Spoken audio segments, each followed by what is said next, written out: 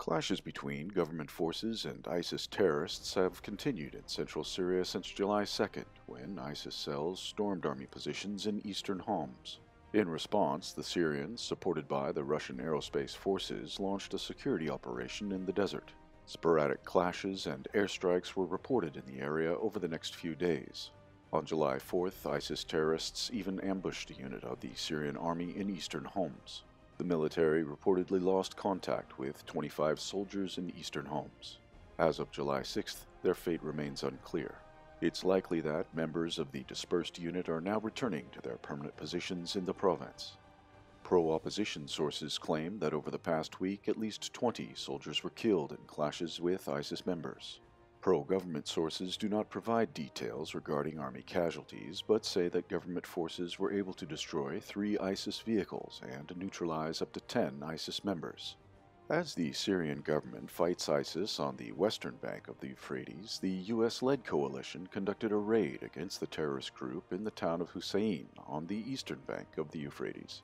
On July 5th, U.S. helicopters landed near the town and U.S. forces, assisted by members of the Kurdish led Syrian Democratic Forces, SDF, detained at least four suspects. Meanwhile, the SDF leadership declared that it does not see a possibility to reach a comprehensive political agreement with Damascus because the government wants to restore full control over the provinces of Deir ez-Zor and Raqqa in the framework of such a deal. SDF Commander-in-Chief Abdi Sahin, better known by his nom de guerre Mazlum Abdi, declined such a possibility, claiming that the Kurdish-led group wants to keep control of all the areas that it has seized. Abdi is a member of the Kurdistan Workers' Party, PKK, which seeks to create an independent Kurdish state in southern Turkey and, if possible, include it into territories of northern Syria and northern Iraq. Therefore, such a position of the SDF leadership is not a big surprise. In 2019, the Syrian army came to northeastern Syria to rescue the SDF from the Turkish military advance when the group, then abandoned by the US led coalition, needed it.